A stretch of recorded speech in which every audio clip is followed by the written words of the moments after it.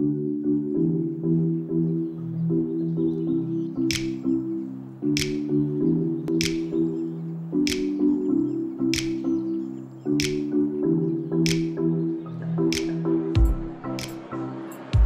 are living at a time when more and more we are in touch with the realities of the limits of our planet.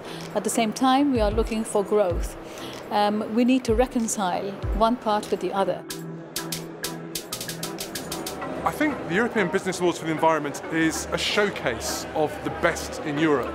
The best for sustainability, the best for the environment, the best for the economy, and the best for the social side, for communities.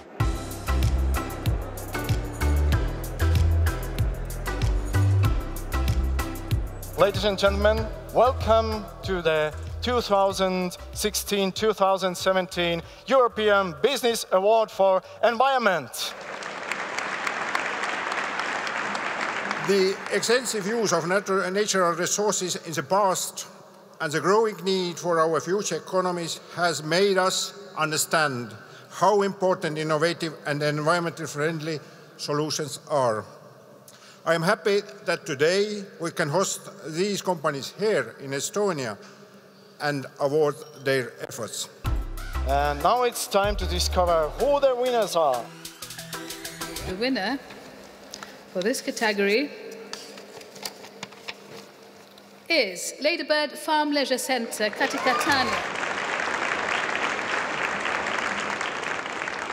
It's absolutely an honor that we are doing something good and we do it well, which means it gives us also a thrust and a, a, a further motivation to continue developing our services just like we do. CMS Window Systems. The award represents um, recognition of all the hard work uh, that the CMS staff put in uh, I mean, we're very good at training our staff on environmental matters. All our staff get an environmental induction into the company. And the winner is Fairphone. It proves that it is possible to change the way that electronics are made. And it is also a huge recognition to our partners. This is not just us winning this award, it is the international partnership that wins the award. International.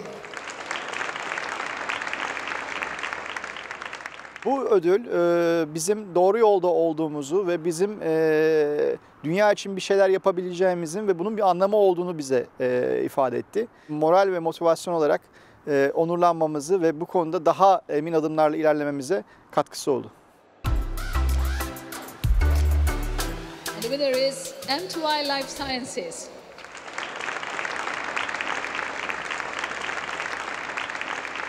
It means a lot. It's rewarded all the work of the committee team, all the R&D uh, works, and also the fact that we, we believe strongly in the change of, for better agriculture and for green uh, pesticide-free technologies.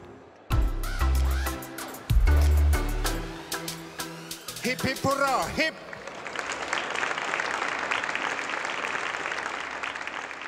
Our project is about fostering biodiversity. We have our own model farm for this, where we are testing methods, methods and measures, and we try to give ideas that we gain there to our suppliers and to our farmers.